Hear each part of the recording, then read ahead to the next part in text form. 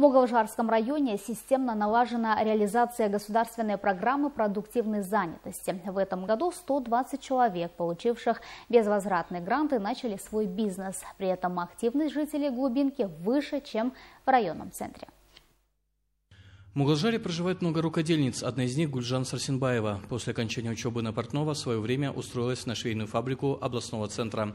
В 90-е годы во время экономического кризиса она ушла с работы и вернулась в родной край.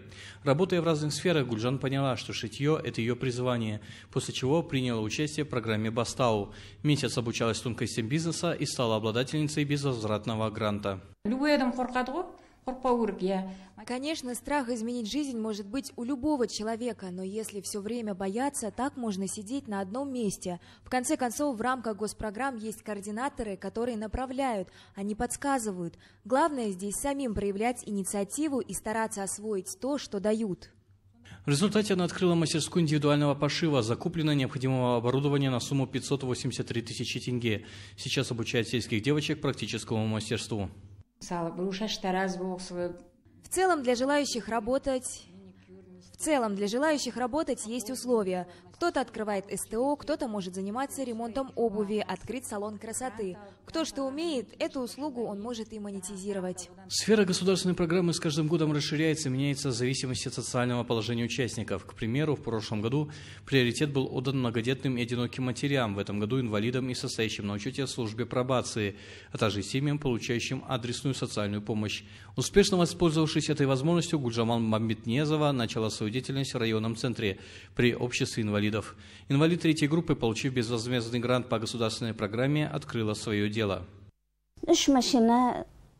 На государственные деньги приобрела необходимое оборудование. Три швейные машины, гладильную доску. В общем, очень рада, что решилась принять участие в программе «Бастау», так как есть возможность безработным открыть свое дело. Держать иглу и нитку учила мама, а профессионально шить обучила мастер Жанша Ирекешева. Гульжамал вначале умела шить только небольшие курпешки, однако она быстро обучаема, легко освоила навыки шитья. Хоть она имеет некоторые физические ограничения, по ней не скажешь. Очень способная и трудолюбивая. Гульжамал Мамбетнезова называет основным направлением своей деятельности пошив уютного и модного постельного белья. Она использует натуральные материалы. По ее словам, спрос населения растет с каждым днем. Клиентов достаточно, наверное, потому что мы стараемся выполнять свою работу качественно, а самое главное, цены доступны устанавливаем. По данным Центра занятости, в этом году в районе трудоустроено около 2400 человек. В рамках второго направления программы «Инбек» 120 человек получили безвозвратные гранты. Для того, чтобы иметь работу, необходимо эффективно использовать государственные программы, говорит специалист. Сельчане в основном заняты в аграрной отрасли. Активно развивается птицеводство и овощеводство. К примеру, в 2020 году 103 человека у нас получили безвозмездные гранты.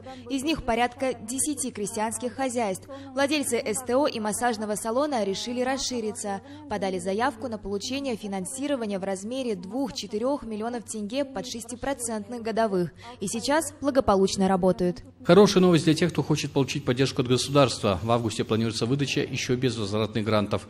Количество желающих 65, а выделено грантов 21. Владимир Федотов, Миржана Манжолов, телеканал Актубе.